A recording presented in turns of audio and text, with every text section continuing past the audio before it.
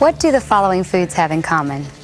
Bananas, pineapples, lemons, coconuts, cashews, corn, rice, avocados, onions, tomatoes, eggplants, sugar, and cocoa?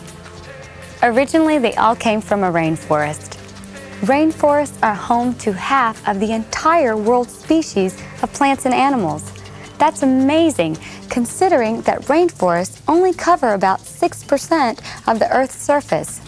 Hi, I'm Anna Z, and in this program, we're going inside these amazing places, the rainforest biomes.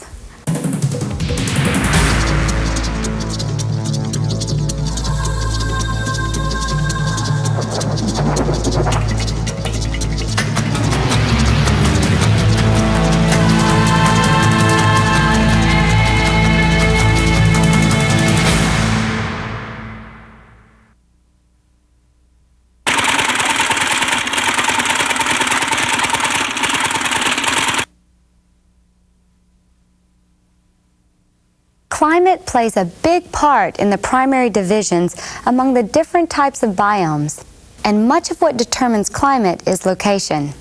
So let's start by looking at the different kinds of rainforests and where you can find them.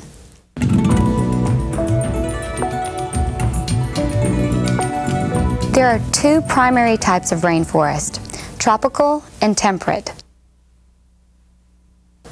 Most prevalent are the tropical rainforests, covering almost 6% of the Earth's surface.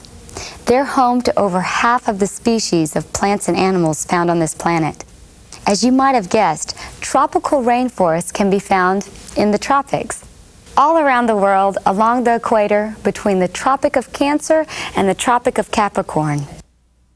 Brazil, Colombia, Costa Rica, Zaire, Kenya,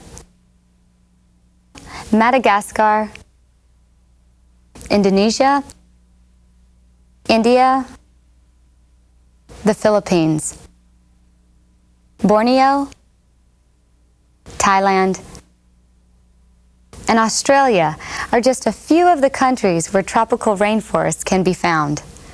In contrast to tropical rainforests, Temperate rainforests are very rare. Only about 3% of all rainforests fit into this category, and they cover less than 1% of the Earth's surface. This type of rainforest is found near coastal areas in Chile, New Zealand, Southern Australia, and North America. In fact, the world's largest temperate rainforest is found in North America along the Pacific Northwest coastline from Oregon to Alaska. While temperate rainforests don't have the sheer magnitude of biodiversity that their tropical counterparts do, they still provide an important haven for a large number of species. They're home to some of the oldest and largest trees on Earth.